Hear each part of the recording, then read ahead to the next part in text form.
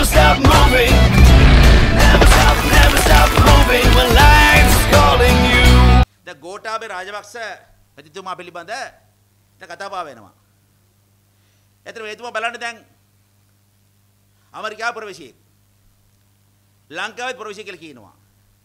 කෙසේ වුණ ඇමරිකාව නීති මට දන්නවා ඇමරික ප්‍රවේශිකාව තිබුණා නම් ඒ සමග වෙන රසක වෙන රටක සමග ඩුවල් සිටිෂිප් ඩුවල් ප්‍රවේශිකාව තිබුණා නම් උනත් හරි ඇමරිකා ප්‍රවේශිකාව තමයි පළවෙනි තැනට තියන්නේ ඒගොල්ලන්.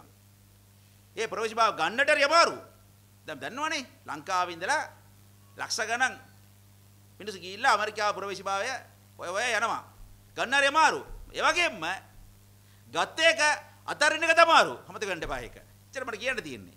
ඒ නිසා ඒක අතරගෙන එන්න ඕන මේ රටේ අද තියෙන නීති යටතේ. ඉතින් ආවනම් ඒක තරම් කරන්න පුළුවන්. කෙසේ වුණත් එතුමාට ඉරණම මොනකද කියලා මට දන්නේ නැහැ. ඉතලා බලන්න ඕන එච්චරයි. ප්‍රවිශේෂ තමයි. නැතුව නෑ. නමුත් අපේ දානවේ සංශෝධන හරහා නීති අලුත් නීතිය ගෙනලා තියෙනව නේද? මොකද නීතිය ඒක?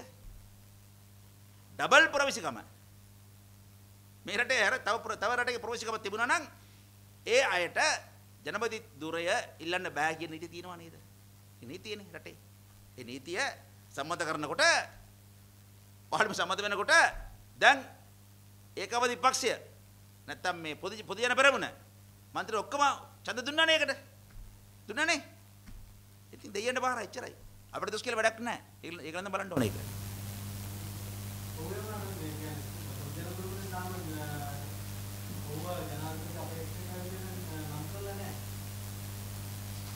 මමත් නම් කරේ නෑ අපිත් නම් කරේ නෑ නෑ නෑ දැන් කතාව වෙනවනේ නම් කර නැති වුණාට හේතුවම කියලා තියෙනවනේ මම ලෑස්ති කියලා. ඒක මම උත්තර දෙන්න එච්චරයි. මම නම් ගෝඨාභ රාජපක්ෂ මහත්මයා තරම් කරා නම් සතුටු වෙනවා. මොකද කාරණාව? ඒක තමයි මේ උණුසුමක් තියෙන්නේ. තරගේ හාල් පවර් එක එපන්න බෑනේ අපිට ගිහිල්ලා. අපි හොඳ දි- දිනන බඩුවක් දානවා. අලෙවි කරන බඩුවක් දානවා.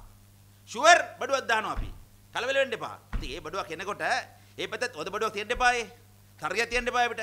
උණුසුම තියෙන්න එපා නැත්තම්. అది වැඩක් නෑනේ. ඒකයි කියන්නේ මම. ඒ නිසා ඒ තමයි එනවනම් මම කැමති කෝට්ටේ රාජපක්ෂ මහත්මයා පොදුජන පෙරමුණේ ජනපති අපේක්ෂා හැටියට ඉදිරිපත් වෙනවා නම් මම නම් කැමති ඒක. සන්තෝසයි ඒකට උණුසුමක් තියෙනවා. තරංගේ අද වැඩක් නේ තරංග උජාරුවක් නෑනේ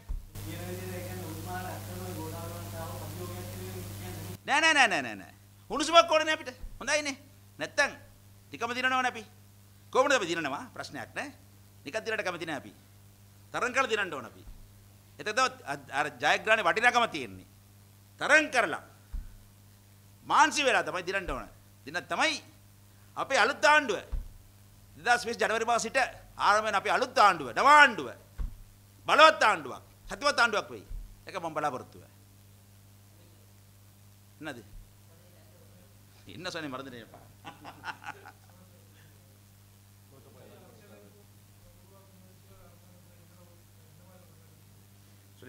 கோட்டாபி ராஜபக்ச அவர்கள் நாட்டிலே பொது எதிரணி சார்பாக பொது பெருமன சார்பாக